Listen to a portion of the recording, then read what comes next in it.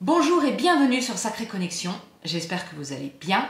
J'espère que vous êtes abonnés. J'espère que vous avez cliqué sur la cloche pour être averti des nouvelles vidéos, que de temps en temps vous mettez des pouces bleus parce que ça fait toujours super plaisir. Aujourd'hui, je vais vous parler d'un outil spirituel. Je vous ai préparé une vidéo sur les archives akashiques. Les archives akashiques, ça ne date pas d'hier. Certains d'entre vous ont certainement déjà entendu parler, d'autres non.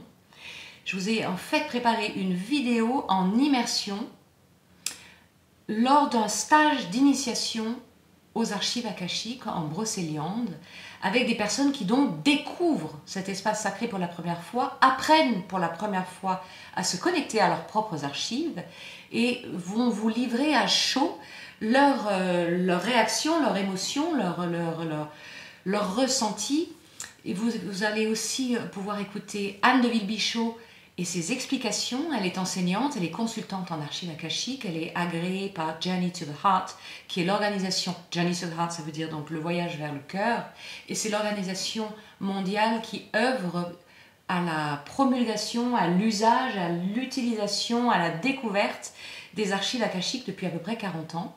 Anne a écrit ce livre, Retour à la joie, que je vous conseille. Je vous mettrai tous les détails de toute façon sous cette vidéo ainsi que les détails sur Journey to the Heart et Ernesto Ortiz, qui est la personne qui a fondé cette organisation.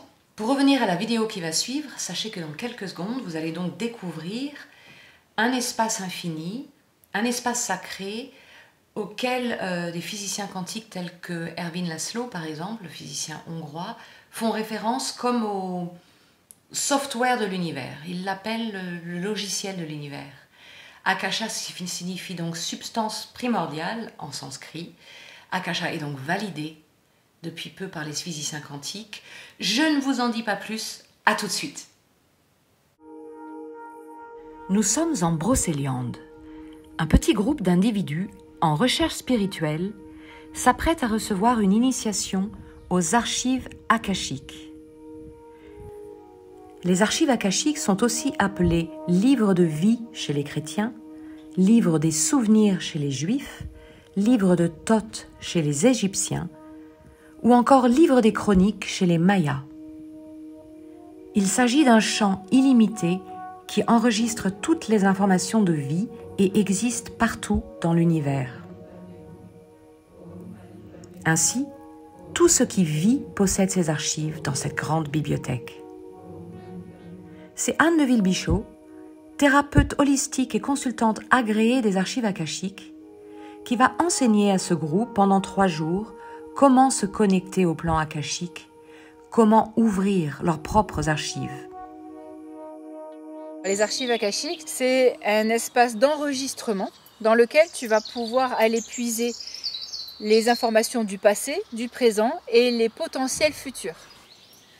Nous avons cinq sens subtil pour recevoir les informations. Et nous allons donc décrypter cette information comme si on était au cinéma et nous voyons ben, des images, un film passé, nous avons du son, nous avons des odeurs, nous avons des goûts et des ressentis kinesthésiques. Et grâce à tous ces sens, ben, nous pouvons reconstituer une histoire. En fait, akasha signifie substance primordiale. Et cette substance primordiale est ce qui constitue le tout, le solide, le liquide, le gazeux. Et aujourd'hui, Erwin Laszlo est un théoricien hongrois qui a démontré via la physique quantique que Akasha existait, que ce champ d'enregistrement existait. La caution des physiciens quantiques ainsi que la découverte d'une prière sacrée maya permettant d'accéder au plan akashique met aujourd'hui les archives à la portée de tous. Depuis la nuit des temps, hein, il y a toujours eu les mystiques, les chamans qui accédaient aux archives akashiques. Euh, il y a des personnes, de manière spontanée, qui effectivement, comme euh, Rudolf Steiner, Alice Bailey, euh, Nikola Tesla, eux, bah, du coup, comme ils téléchargeaient finalement toutes ces informations de manière très fluide. J'ai pas la chance d'être euh, comme eux, donc je me sers de cette prière sacrée qui va nous amener quelque part du plan terrestre où l'on est jusqu'à ce plan qui est très très haut. Euh, et ça va nous assurer, cette prière, d'être connecté au bon endroit. et en même temps, elle va nous sécuriser énergétiquement. La prière sacrée est au centre de la transmission d'Anne durant ce stage. Mais avant de la recevoir, le groupe doit se préparer. Fumigation à la sauge, mantra et changement d'air font partie du protocole sacré. Et l'air que je viens de faire entrer qui est propre, je vais le guider le long de tous mes chakras jusqu'en bas. Les archives akashiques sont venues comme un cheveu sur la soupe dans ma vie. On m'a tendu un livre, je l'ai pris et tout de suite je me suis dit tiens il y a vraiment un truc extra à faire. J'ai dévoré le bouquin en un rien de temps alors que je suis pas un lecteur. Et euh, tout le temps de cette lecture, je me suis dit c'est génial, là on détient un truc, c'est génial, c'est génial. Et arrivé à la fin, là mais je sais pas comment faire. Accéder aux archives d'Akasha, c'est pas juste une formule magique. Euh, c'est ce qui est important à comprendre pour moi en tout cas. Euh, c'est que c'est pas juste apprendre la prière sacrée et puis tout va se dérouler, tout va se produire comme ça, comme par magie. C'est loin d'être ça.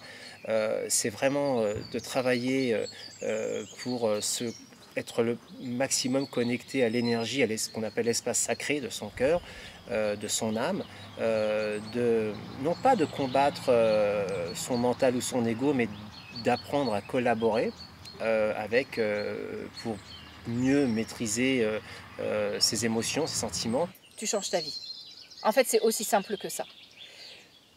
On peut juste changer certains aspects comme par exemple l'abondance, des croyances limitantes, des schémas répétitifs hein, dans une même incarnation. Par exemple, j'ai toujours le même type d'homme, et ça ça me nuit finalement. Là, on va aller concrètement nettoyer les empreintes émotionnelles de ces problématiques et ramener quelque chose de positif dans le présent. Donc concrètement, on change notre vie, on change notre manière d'être dans une meilleure version de nous-mêmes, quelque part. Donc des peurs que tu peux avoir, une fois que tu as fait ce travail dans tes archives akashiques, les peurs n'existent plus. D'après les mystiques chrétiens, juifs et mayas, les archives akashiques sont la mémoire de chaque vie passée sur Terre. Chaque âme possède son livre contenant toutes ses vies. En fait, dans notre euh, livre de vie, il est inclus ce qu'on appelle les dettes karmiques. Par exemple, tu as eu une mauvaise action dans le passé vis-à-vis de quelqu'un. Ben, deux incarnations plus loin, finalement, ça va être l'inverse. Et on joue les chaises musicales. Donc, encore une fois, bien sûr que l'on peut nettoyer ce qu'on appelle ces contrats. On peut avoir des contrats d'âme. Et on va aller les nettoyer de manière à ce que ce soit quelque chose qui nous serve, ou en tout cas que ça ramène un niveau d'équanimité, d'équilibre. Dès le deuxième jour, la prière sacrée est transmise et chacun peut enfin ouvrir ses archives. Le groupe récite la prière une première fois à voix haute, puis deux fois à voix basse, les yeux grands ouverts. Il est d'ailleurs recommandé de les garder ouverts afin de rester présent. S'il y a autant de messages et d'informations qu'il y a de participants, un ressenti fait l'unanimité, celui d'être enfin rentré chez soi, au plus profond de son espace sacré.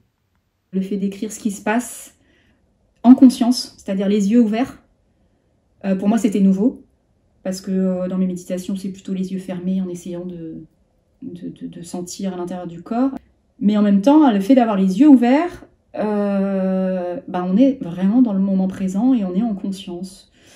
Donc on a eu un exercice où on devait écrire euh, pour la première fois ce qu'on voyait, ce qu'on ressentait, ce qu'on sentait, ce qu'on avait comme odeur, comme goût, comme, euh, comme son, comme couleur. Euh, et ça a, été, ouais, ça a été très riche. Parce que je me suis rendu compte que oui, il y avait beaucoup d'informations qui étaient passées dès, dès, la première connexion. Je sentais que c'était vraiment un espace que je n'ai jamais contacté avant. C'est voilà, une bulle d'amour, une, énergie d'amour. Euh, et je savais que déjà là, quelque chose était différent par rapport à mes méditations ou par rapport au moment où, je suis en, en train de méditer, que ce soit par la musique, que ce soit par les méditations, le yoga. Euh. Là, c'était vraiment un espace inconnu pour moi.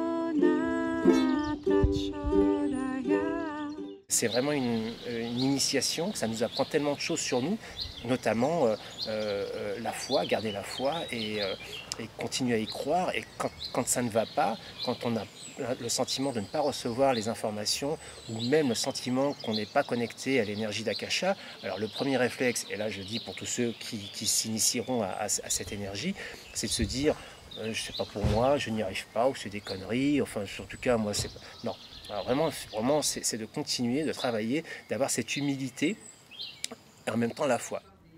Ouvrir ces archives est en effet un exercice quotidien, car les perceptions et les messages s'affinent avec la pratique Alors le matin, je laisse venir et je fais euh, mes méditations et euh, mes exercices de yoga, par exemple. Et mon, mes mantras aussi avec mes malas, parce qu'on nous a euh, appris, enseigné qu'on pouvait utiliser un mala pour faire réciter les mantras. Et ça a un impact beaucoup plus puissant moi, je ressens toujours au niveau du cœur. Je sais que je suis dans le bon espace parce qu'en fait, ce que j'ai ressenti, c'est toujours le. J'arrive toujours à retrouver la même fréquence en fait. Et là, je me dis, ok, je suis au bon endroit.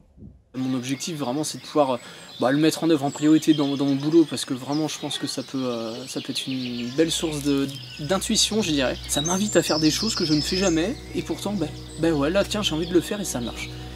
Donc là, avec en plus la confiance retrouvée grâce à ce stage-là, ouais, je pense qu'il y a vraiment moyen de tirer quelque chose de, grand.